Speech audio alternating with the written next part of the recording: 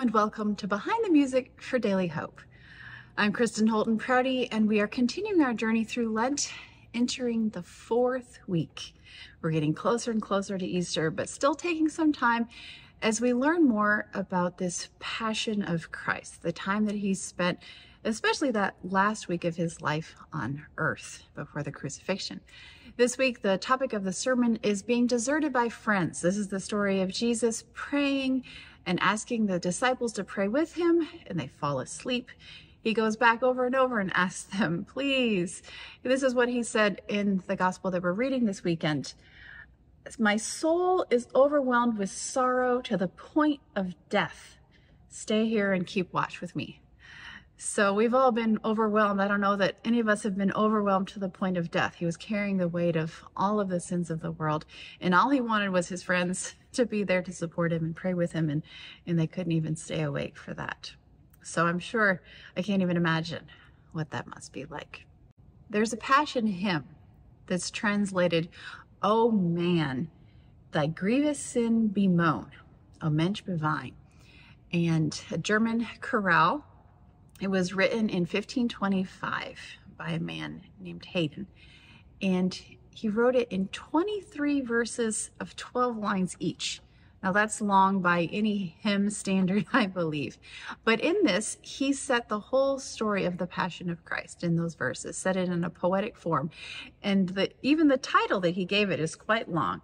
He titled it The Passion or the Suffering of Jesus Christ rendered in hymnic form in the melody of the 119th Psalm, and then quoted the name of the psalm tune that he was using to write it to.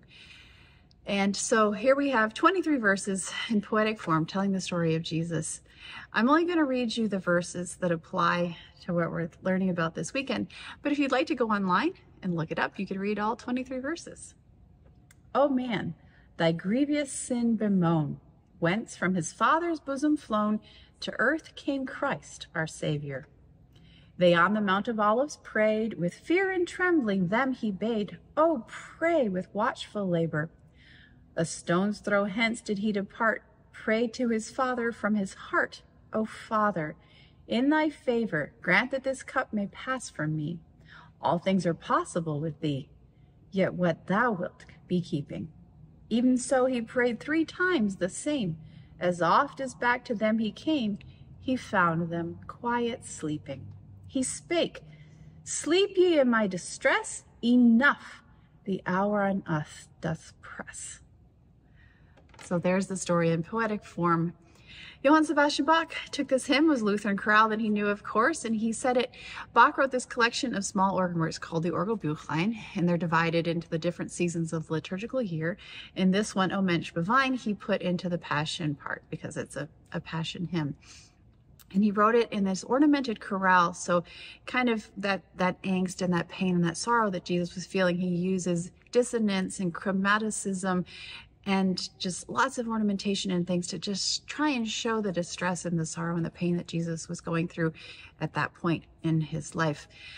And the French composer, Widor, I'm sure you've heard of him at least through the Widor Toccata. He wrote that he thought that this was the most powerful instrumental piece ever written. So powerful words coming from an also very well-known and prolific composer.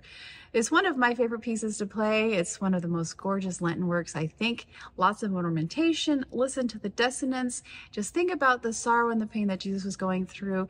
If you've ever been deserted by friends at a time where you needed that help, that's just, just a bit of a taste of what Jesus was going through at that time. So enjoy this beautiful and very sorrowful piece by Johann Sebastian Bach and I'll be back with you again next week.